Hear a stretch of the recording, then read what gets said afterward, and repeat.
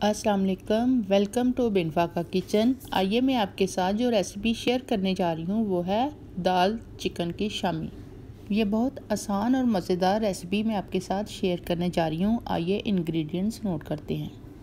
सबसे पहले मैं चना दाल लूँगी 700 ग्राम, यानी तीन पाव। इसको मैंने चार घंटे के लिए डिप करके रख दिया था सादे पानी में, ताकि ये नरम हो जाए और गलने में आसानी रहे।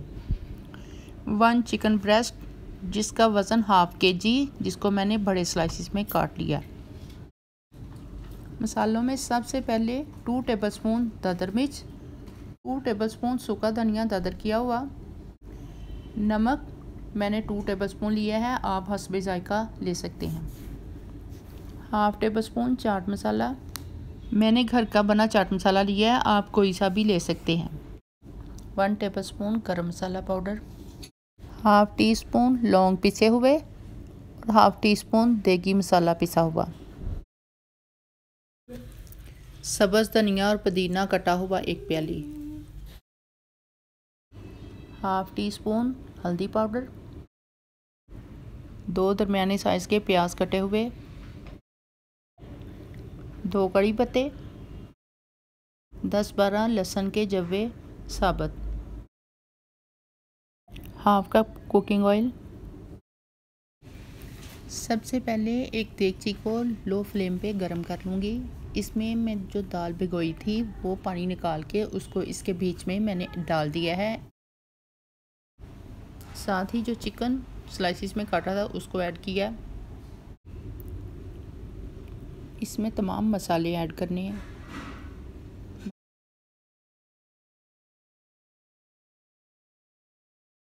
साथ ही बाकी का तमाम मटेरियल इसमें ऐड कर देना है।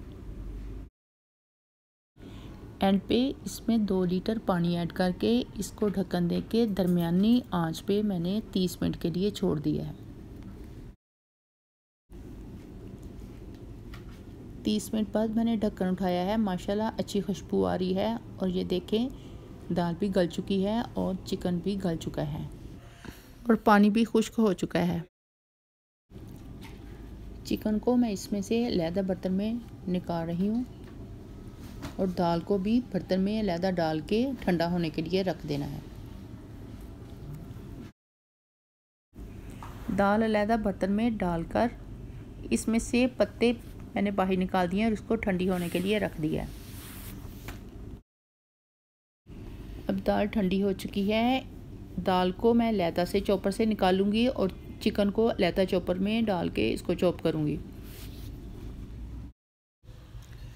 दाल को चॉप करके हमने निकाल लिया है। लहदा से चिकन, धनिया और पुदीना इनको इकट्ठा चॉप कर लिया है।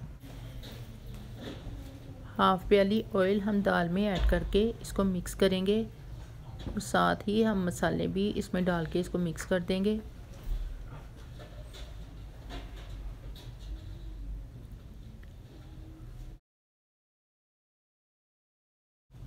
इस मटीरियल को हम अच्छे से मिक्स करेंगे।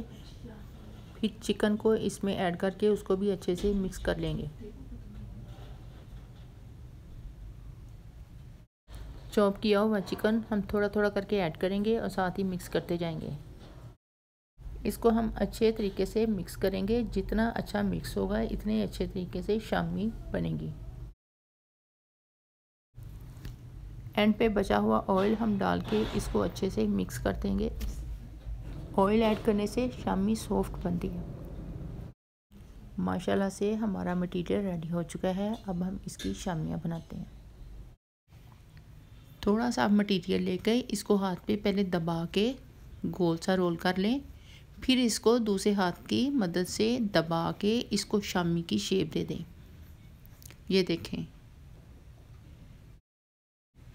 ये देखें, मैंने इस साइज़ की शामी तैयार कर ली है। आप हाथ की मदद से या शामी बनाने वाले वो सांचे के साथ आप बना सकती हैं।